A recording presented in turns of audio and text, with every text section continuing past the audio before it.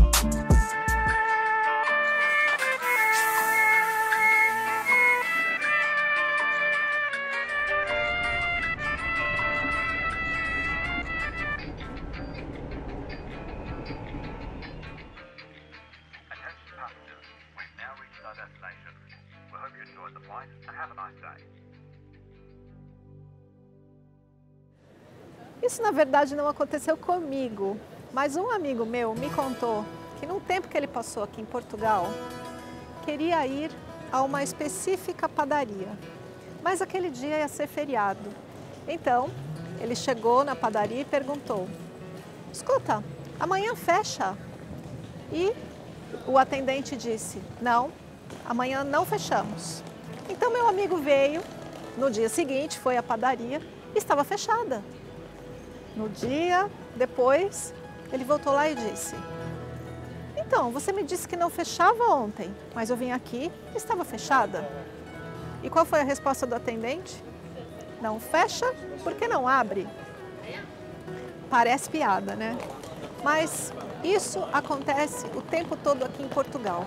E os nossos amigos portugueses, né, respondendo a esse acontecimento, disseram: somos literais.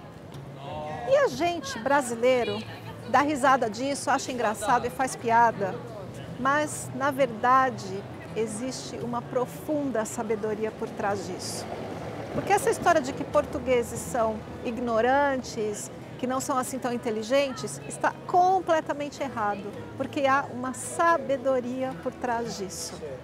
Literal significa que não tiramos conclusões significa que ouvimos aquilo que a pessoa disse.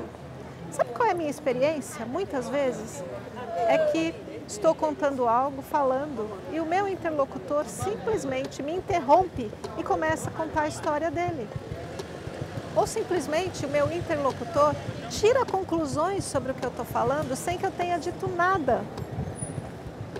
Eu tenho até um caso muito interessante aqui no canal.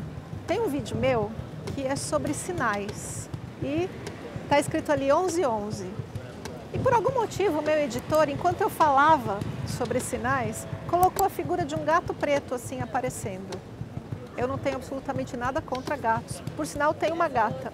E tenho até mesmo uma gatinha preta. E muitas pessoas escreveram: Você é supersticiosa, você não gosta de gatos. Mas eu não disse nada. A pessoa nem sequer ouviu o vídeo. A pessoa tirou conclusões sobre o que não foi dito.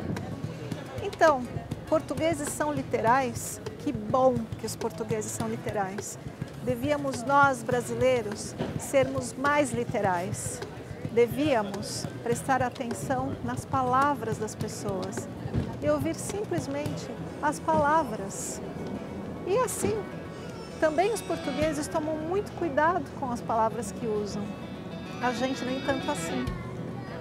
Diz um dos professores espirituais que admiro muito, que é o Dom Miguel Ruiz, diz que devemos ter um compromisso, um compromisso com a palavra impecável, ou seja, a palavra sem pecado, que devemos falar aquilo que é verdadeiro, aquilo que é necessário e aquilo que não vai ferir ninguém.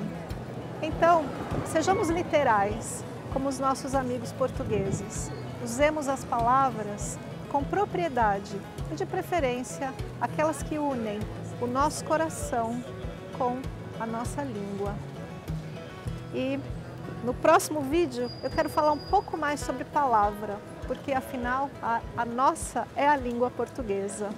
Um grande beijo a vocês, um carinho especial pelos irmãos portugueses e eu te convido a assinar o nosso canal, acionar o sininho de notificação.